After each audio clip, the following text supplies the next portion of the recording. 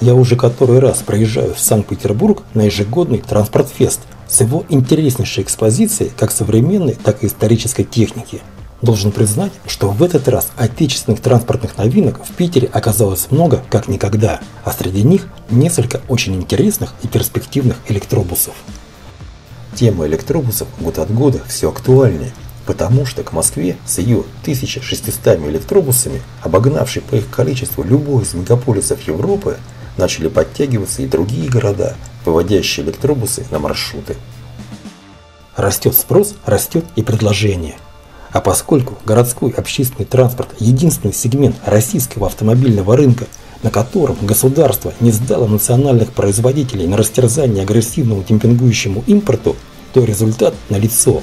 Разработка и производство отечественных электробусов развивается семимильными шагами – Рассказ о российских электробусах на Транспортфесте начну с малого, а именно с низкопольного микроавтобуса «Газель Сити», который в электрической 12-местной версии называется «Газель Е-Сити». Да, я уже как-то делал ролик об этом мини-электробусе, но то была опытная модель, а в Санкт-Петербург привезли уже серийный экземпляр из первой промышленной партии. И без московских наворотов, то есть, можно сказать, в базовой комплектации – Запас хода заявлен в 150 километров. Для целого дня на обычных городских маршрутах этого недостаточно. Но аккумуляторы до 80% заряжаются всего за 45 минут. А значит, пополнить их заряд можно и в обеденный перерыв. Теперь о Волгобасе. Точнее, о двух привезенных на Транспортфест электрических Волгобасах. Один из них оказался гибридом. Другими словами, электробусом, снабженным собственным генератором на основе дизельного двигателя Ючай – для пригородных перевозок такой гибрид рассмотреть можно вполне. Производитель указал в характеристиках повышение экономичности на 40% по сравнению с чисто дизельным аналогом. Но вот интересно, отобьет ли экономия на топливе удорожание машины за счет установки электрического привода и батареи, которые, кстати, через 7-8 лет придется полностью снять, сдать и купить им на замену новые. У второго Волгобаса на борту было написано электрогибрид – а вот судя по описанию на табличке, это был просто электробус, но самой новой генерации, с аккумуляторами емкостью от 280 до 420 кВт-часов. На самом же деле данная машина выполняла роль демонстратора технологий будущего. Потому что в ее салоне в лучах синеватой подсветки стоял генерирующий агрегат на водородных топливных элементах.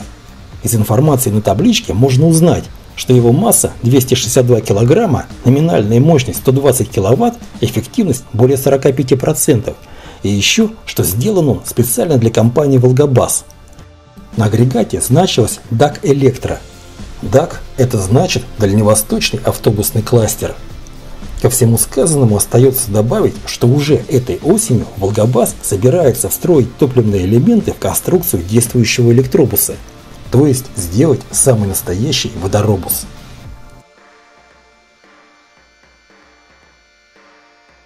Теперь несколько слов о том, где и как сделать диагностику, техобслуживания и ремонт своему любимому автомобилю. Самый удобный и выгодный вариант – приехать на станцию компании Fit Service. Удобный потому, что это международная компания, у которой 300 фирменных станций в 150 городах России и Казахстана – а значит, одна из них наверняка находится где-то поблизости.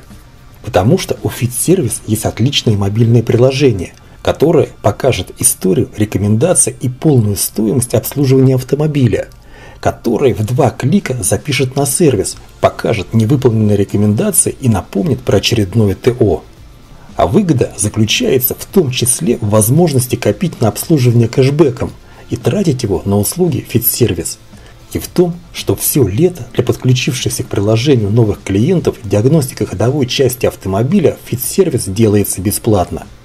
На это вы потратите всего час, зато получите прямо на телефон фото и видео выявленных проблем с комментариями эксперта. Пока специалисты занимаются машиной, можно хорошо провести время в комфортабельной клиентской зоне, где есть детский уголок, где можно выпить отличный и при этом бесплатный кофе – и даже при желании поиграть в видеоигры. И где можно в онлайн-режиме наблюдать, как в сервисной зоне ремонтируют ваш автомобиль. Что, кстати, совсем не обязательно. Результаты рекомендаций все равно придут удаленно на телефон. И что еще важно, гарантия на все запчасти и сделанные работы составляет 1 год или 20 тысяч километров пробега. Одним словом, если у вас зашумело, застучало или заскрипело, если просто пришло время проверить свой автомобиль, записывайтесь в физ-сервис на бесплатную диагностику. Ссылку я указал в описании этого ролика. А вот этот электробус пока опытная модель. Уфимский трамвайно-троллейбусный завод, известный своими троллейбусами на основе поставляемого МАЗом так называемого планера, то есть готового кузова с ходовой частью, недавно сделал полностью собственный кузов. Точнее, два. Один использовали для постройки нового троллейбуса, другой для постройки нового электробуса, получившего собственное имя «Электрогород». Вот этот перспективный электробус и привезли в Санкт-Петербург. Из интересных технических особенностей отмечу независимую подвеску управляемых колес, выполненные из стеклопластика не только переднюю и заднюю маски, но и боковины кузова, а также оригинальную бескаркасную конструкцию крыши. Да, и еще, разработчики сумели разместить в салоне сиденья аж для 37 человек. Это много, если учесть, что каждому из них удалось обеспечить достаточное место для ног – что в современном низкопольном транспорте не такая уж и простая задача. У электрогорода весьма неплохой заявленный запас хода в 250 километров, причем весьма близкий к реальности. С середины ноября электрогород с максимальным пакетом батарей энергоемкостью 438 киловатт-часов работает на питерских маршрутах, показывая дневной пробег в 230 километров, и в том числе в зимний период – когда почти половина энергии батарей уходит на работу электрических отопителей салона. Вологодская компания «Трансальфа», которая за последние несколько лет поставила в Питер более 200 троллейбусов, показала на транспортфесте новый электробус «Сириус». Санкт-Петербург уже сделал заказ на 28 таких машин. Они будут поставлены до конца июля. Запас хода у «Сириуса» заявлен тоже очень неслабый – 240 километров, причем в зимних условиях. В конструкции этого электробуса есть два интересных момента. Во-первых, в отличие от Сириусов, недавно поставленных в Рыбинск, при производстве боковин и крыши электробусов для Санкт-Петербурга использован более легкий металл.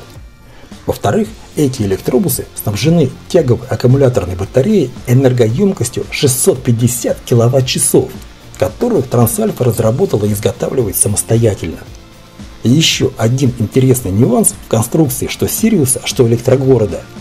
Если большинство европейских электробусов комплектуют электропортальными мостами, то есть мостами со встроенными в ступицами электродвигателями, то у наших производителей в ходу схема, привычная для троллейбусов.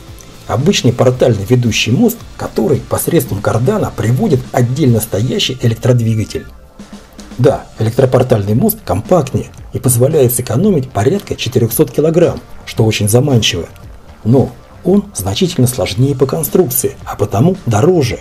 И что не менее важно, его сложнее обслуживать. А схема с отдельным электродвигателем не только проще и привычнее для наших переводимых на электробус троллейбусных парков, так еще и двигатель в этом случае можно использовать отечественный, такой же, как у троллейбусов, и это весомый плюс. В заключение еще один интересный экспонат в экспозиции Транспортфеста. Прямо в автобусном салоне была развернута экспозиция с дизайн-проектами электробусов, предназначенных для Санкт-Петербурга. Вот, к примеру, посмотрим на эти проекты. Как написано на правом верхнем рисунке, автор собирается снабдить электробус не только сидячими и стоячими, но еще и полусидячими местами, причем в количестве аж 24 а автор нижних рисунков видит питерский электробус с почти цилиндрическим кузовом. Оригинально. Но особенно впечатлил вот этот проект, видимо, сделанный под девизом «Я с детства не любил овал, я с детства угол рисовал».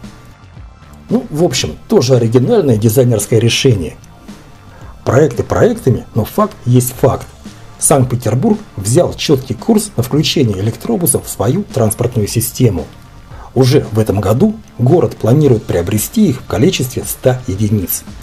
Как я уже говорил, 28 из этого количества придется на Сириусы от Трансальфы. Но вот какой марки будут остальные 72. Претендентов много, и не только из числа электробусов, о которых я здесь рассказываю. Это, к примеру, может быть и генерал от транспортных систем, унифицированный с бегающими по Питеру троллейбусами «Адмирал», и белорусский Витовт Макс Электро, который уже тестирует на одном из маршрутов Санкт-Петербурга, и электробус МАЗа из нового, недавно освоенного в серии 303-го семейства городских машин. И даже ЛиАЗ готов трансформировать под питерские стандарты свой электробус, который поставляет в Москву, и который тоже засветился на питерском транспортфесте. Впрочем, в чью пользу будет принято решение, мы очень скоро узнаем.